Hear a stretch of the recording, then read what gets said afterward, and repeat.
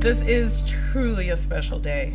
This time last year, we knew nothing about COVID 19. It wasn't until December 31st that we heard of a viral pneumonia, distant reports of a viral pneumonia. We've come so far in such a short amount of time.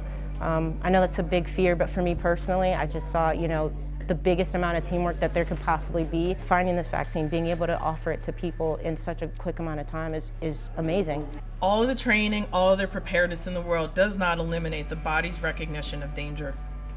And despite that danger, despite the PPE shortages, despite the personal hardships that our first responders have experienced all year, they continue to choose fight over flight.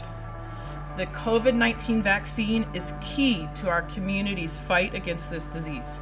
Being on the front lines and getting that vaccination, and that is something that gives me the most hope, you know, as we uh, put a cap to 2020 and move in to 2021. And it's that our people who are on the ground every single minute serving this community are getting what they rightfully deserve.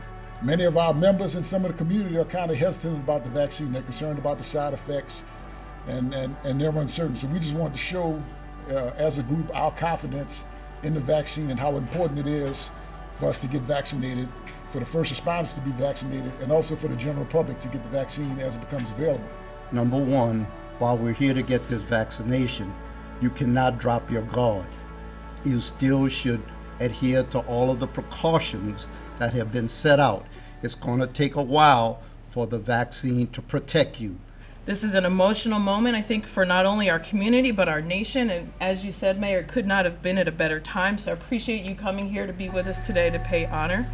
Um, and happy holidays to us all.